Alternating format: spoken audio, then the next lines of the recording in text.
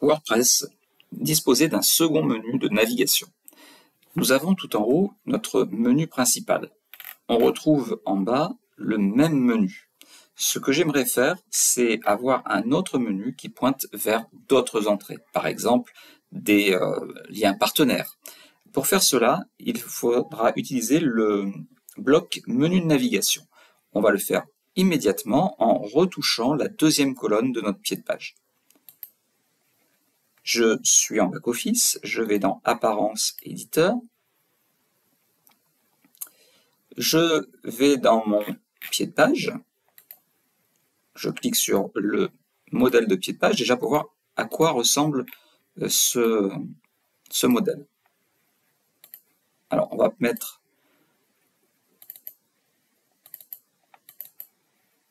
donc là on va modifier parce qu'en fait il est bloqué et là, on voit que l'on a euh, un menu de navigation déjà, qui est le menu principal. Parce que si je suis sur navigation, on retrouve exactement ce que l'on avait mis. Donc quand je clique sur navigation ici, j'ai accès au menu général du bloc menu navigation qui appelle le menu classique, celui qui est créé par défaut. Si je veux créer un nouveau menu, je vais cliquer sur les trois petits points et là, on va mettre créer un nouveau menu. À partir de là, on va cliquer sur le plus et on va rentrer différents liens.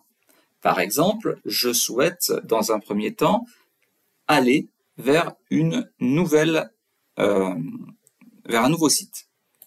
Je vais donc cliquer sur un lien personnalisé et ici, je vais taper l'URL https goudron blanc,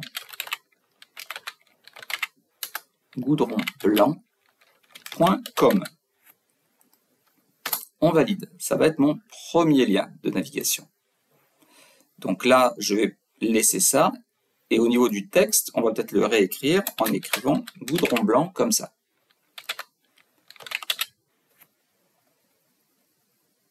Premier lien. On va créer un second lien à présent qui sera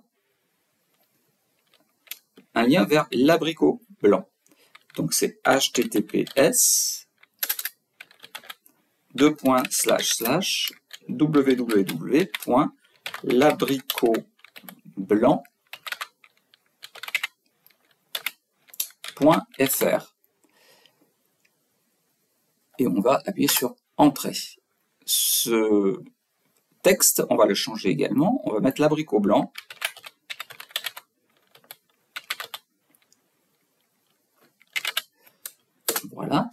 Et puis, euh, on va créer un troisième. On va mettre euh, un lien vers T-shirt online. Donc, plus T-shirt online. Ah, je ne suis pas sur les liens là. Plus. Alors, T-shirt online, c'est www, euh, non, https, https, deux slash slash, www.t-shirts online.com. Je valide. Là aussi, on va changer le titre. On va mettre t-shirt online. Voilà. Tous ces liens pointent vers d'autres sites web. Donc il est important que j'indique pour chacun de ces liens qu'ils doivent s'ouvrir dans un nouvel onglet. Pour cela, on clique sur le lien, le bouton lien, le petit crayon, et là on met ouvrir dans un nouvel onglet, enregistrer. Et on va répéter ça pour les deux autres. Lien, le petit crayon, ouvrir dans un nouvel onglet, enregistrer. Et enfin, t-shirt online, lien. Vous voyez, à chaque fois, il y a le petit icône, hein, il y a le petit logo du site web qui apparaît enregistré pour dire qu'il l'a bien reconnu. Voilà, donc là nous avons mis nos trois liens vers nos partenaires. On va en rajouter un troisième qui va pointer vers nos mentions légales, par exemple. Mention légale.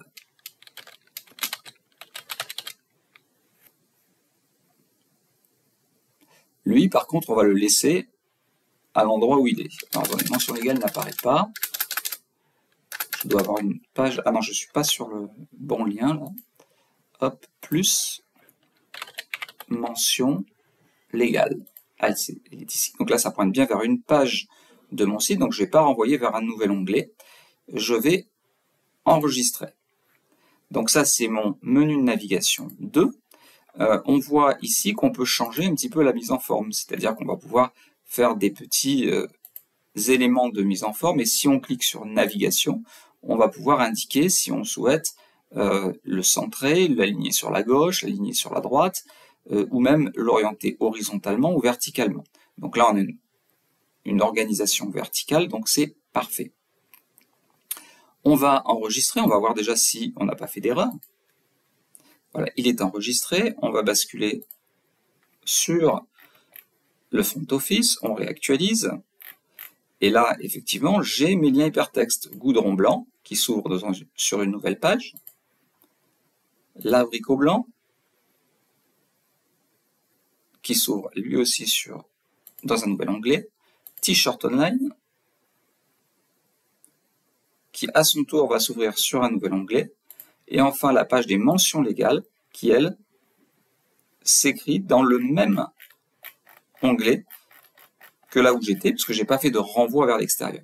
J'ai donc créé un deuxième menu de navigation, puisque mon premier était ici. Mais comme on le voit, quand j'ai créé un deuxième menu de navigation, euh, en haut, il a pris également le premier menu de navigation. Donc pour rectifier ça, il va falloir dire que tout en haut. Alors, il faut que je sorte. On va retourner ici. On retourne dans euh, le menu de navigation. Alors là, je ne le vois pas, c'est un peu plus haut. Navigation.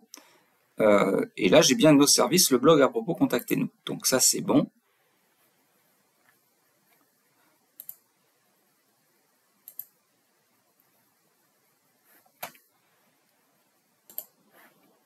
on va quand même préciser que l'on veut le menu de navigation 1 dans nos modèles de page.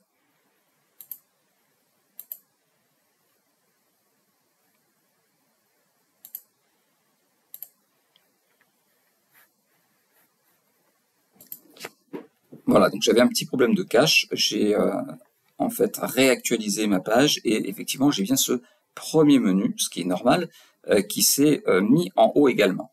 Donc je vais préciser qu'ici je veux un menu de navigation. Donc on va aller en vue en liste. Le menu de navigation, il est dans l'entête modifié ici. Donc je vais sur le menu de navigation. Et là, je vais bien préciser que je veux le menu navigation, navigation tout court, pour retrouver nos services, le blog à propos, contactez-nous T-Club. J'enregistre on retourne ici, on actualise, on retrouve bien en haut notre premier menu navigation et en bas notre deuxième menu navigation.